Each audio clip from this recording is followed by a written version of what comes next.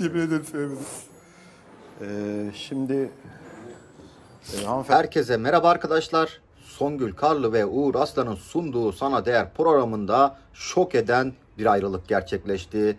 Biliyorsunuz Apache Mustafa Helin'i çok seviyordu ve Helin'i Galata Köprüsü'ne bile götüren Apache Mustafa çok acı bir haber verdi ve Helin'in onu kendisini terk ettiğini söyledi. Helin bunu nasıl yapardı? Sen o kadar çocuğa umut ver. Daha sonra da hemen Apache Mustafa'yı terk et. Apache Mustafa biliyorsunuz çok dürüst, çok namuslu ve de iyi kalpli bir çocuk. Sadece biraz kafası kırık. Fakat gerçekten de on numara bir insan.